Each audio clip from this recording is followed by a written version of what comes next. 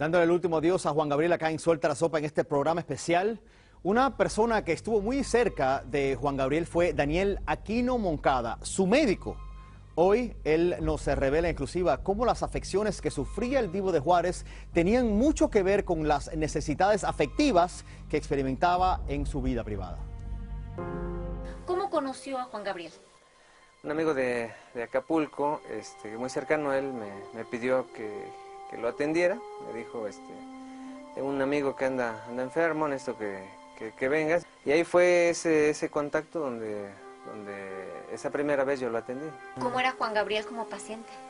Yo llegaba a instruirlo en algunas cosas, pero el que salía instruido ahí, pues prácticamente era yo, ¿no? Ya que él, además de, de ser todo un artista, era un hombre muy inteligente, entonces tenía mucho conocimiento. Eh, de, de, meditación, sabía mucho sobre hinduismo, el budismo. ¿Cuáles eran la, las cuestiones que él tenía físicas uh -huh. como para acercarse a una consulta con usted? Él tenía un problema a nivel respiratorio, ¿no? Como que empezaba a tener mucha asfixia. Yo empiezo a, a, a traducir el lenguaje de, del cuerpo en la enfermedad, qué es lo que qué es lo que empieza a ocurrir en él.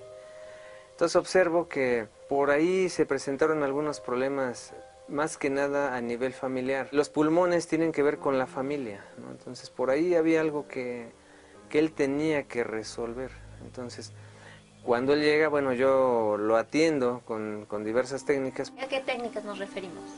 Eh, hipnosis, acupuntura, todo lo alterno, ¿no? Desde el uso de fitoterapia, es decir, el uso de tés o de hierbas para que eso empezaran a, a funcionar a su salud. Yo al, al, empezar a conversar con él y decirle, oye, el problema está aquí, él dice, sí, sí lo conozco. Justo me viene a la mente, si tenía una excelente alimentación, ¿qué pasó con, con el infarto que, que se presume que le dio? Un infarto, una presión alta, una taquicardia, o sea, nos está hablando de lo contrario.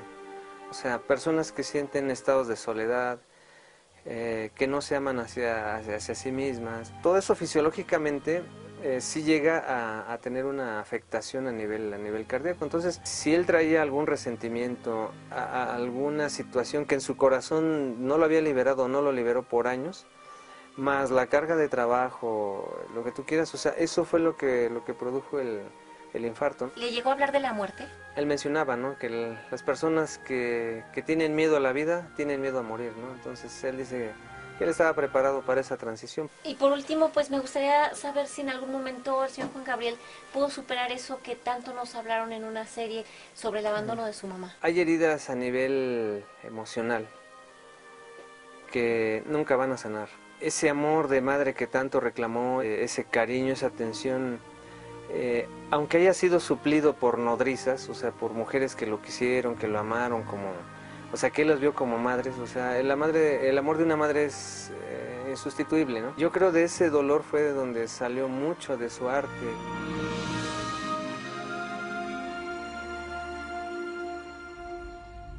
¿Cómo se le llama esta medicina que habla el, el en doctor? Venezuela, particularmente que la he conocido, homeópatas, le decimos a los especialistas de esta medicina alternativa.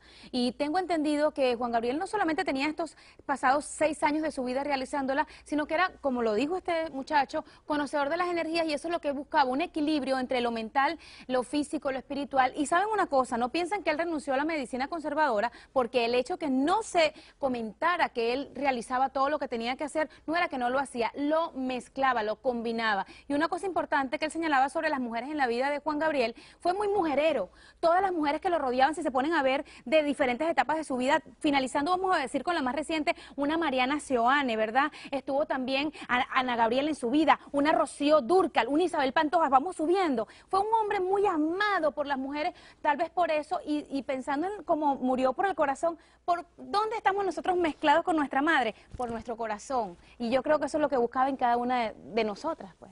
Sí, ese es el, el hilo conductor, ¿no? Ese vínculo que siempre tienes eh, en todo momento en tu vida. Tú sabes que es verdad, él sí ut utilizaba también eh, medicinas convencionales, sin embargo no le gustaba. Y gente cercana a él lo ha dicho, que él trataba lo más posible por evitarlas, aunque llegaba un momento en que tenía que utilizarlas.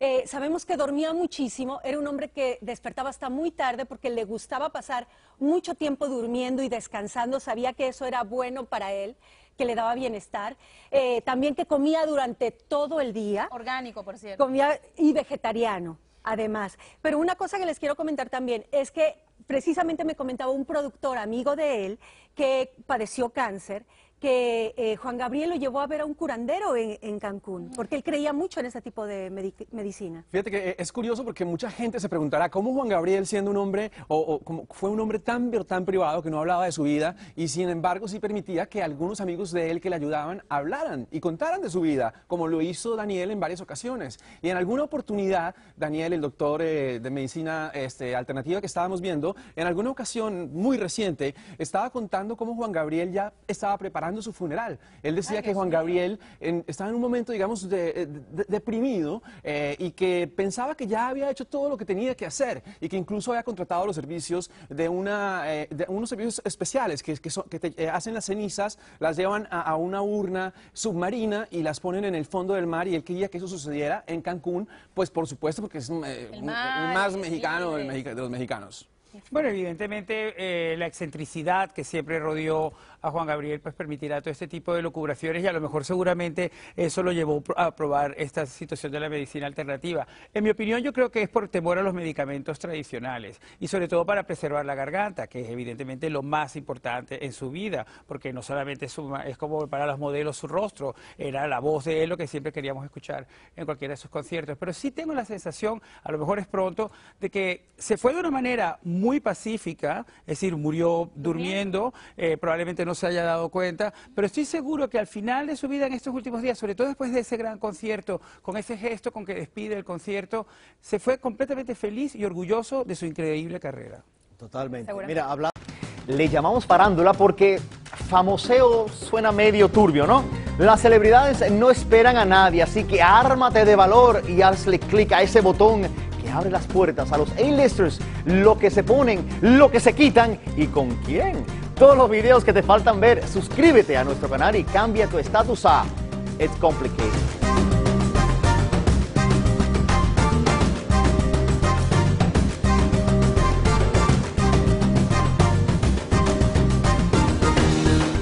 Está loca, pero la adoro con toda mi alma y ella me, adora, entonces llevamos una relación, pero sí es, es sentida, sentida, o sea, ya te oí, ¿eh? que andas diciendo, es que no me has hablado, no sé cuándo.